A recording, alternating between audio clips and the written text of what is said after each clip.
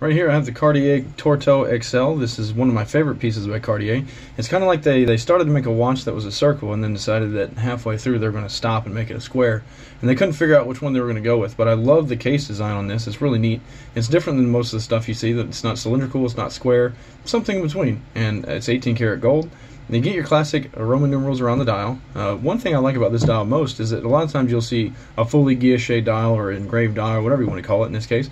This one's a partially one, so what the Roman numerals are, it's actually completely solid, so you get your flat silver, and then on the outside of it, in the inside, it just has this little bitty nuance of decorative components where they've carved into it, and I just think that's one of the coolest things I've seen on this. You get your, car, you get your uh, case back on this, and yes, this is a mechanical wind. You'll notice that there is no arbor weight in the backside. That means uh, you got to wind this every two days or so. Um, you get your deployment clasp. You know, I just think it's a, a truly elegant watch, um, perfect dress watch for any occasion. Check it out, SwissWatchExpo.com.